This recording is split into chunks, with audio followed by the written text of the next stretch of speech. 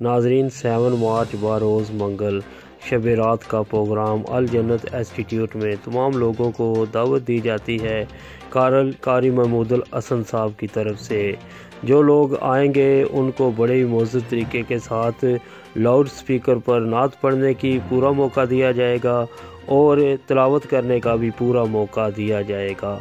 आप लोग आइए, तशरीफ़ लाइए, अल जन्नत इंस्टीट्यूट में ख़ुद भी आइए, बच्चों, बुज़ुर्गों को साथ लेकर आइए।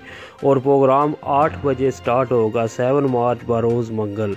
तो शब रात का प्रोग्राम बहुत अच्छा होगा। आइए, अल जन्नत इंस्टीट्यूट में और लुत्फ़ अंदोज़ हो जाइए। शुक्रिया।